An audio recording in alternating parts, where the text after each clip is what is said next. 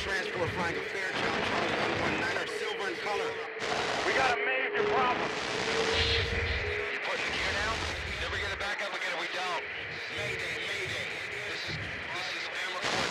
Mayday, You got 30 seconds. Get up! Get up! Come on! Come on! Oh, God!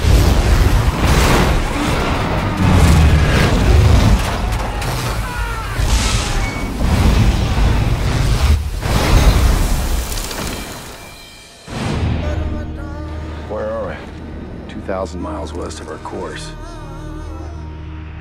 It's a big desert, isn't it? Someone's coming for us, though, right?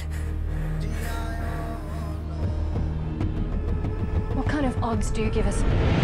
No radio, very little water, and if we try to walk out of here, we're gonna last about two days. I suppose there'll be a Four Seasons hotel out here, will it? I can get us out of here. What do you know about airplanes? I designed them. What the hell is he talking about? He's talking about building a new airplane. Out of the old one. For 10 survivors, choosing to do the impossible is the only choice they've got. If a man can't have faith in something, what else does he have? We're either all in this together or no one at all.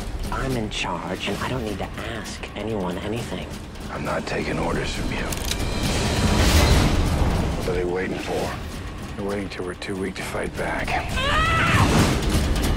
Do not tell them what a plane is. We gotta get out of here. Come on, give me some help! It's coming. It's starting to fall at 100 miles an hour! We gotta cover the engine! We just needed more time! Everyone here is dispensable except me.